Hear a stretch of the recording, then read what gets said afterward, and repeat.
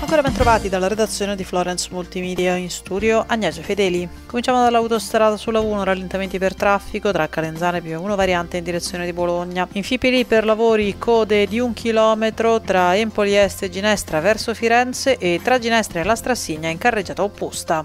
Ci spostiamo sull'Aurelia dove troviamo carreggiata chiusa verso Roma al chilometro 143 nel comune di Orbetello per lavori di ripristino e pulizia a seguito di un incidente. Deviazioni segnalate in loco con uscita obbligatoria a Orbetello Scalo.